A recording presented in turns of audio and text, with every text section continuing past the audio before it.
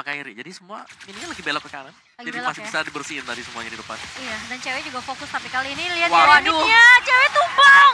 Oh my god, di tangan Soraya meski dan kali masih mau lebih. Saja bakal coba dikejar. Satu bokal altar udah boleh dibuka tapi flank. Konek kali dua pemain tapi Kairi. Tumbang di tangan saja. Kiboy. guys. Kiboy bakal coba dikejar dan double kill diamankan. Tiga pemain dari Onyx Indonesia hilang begitu saja.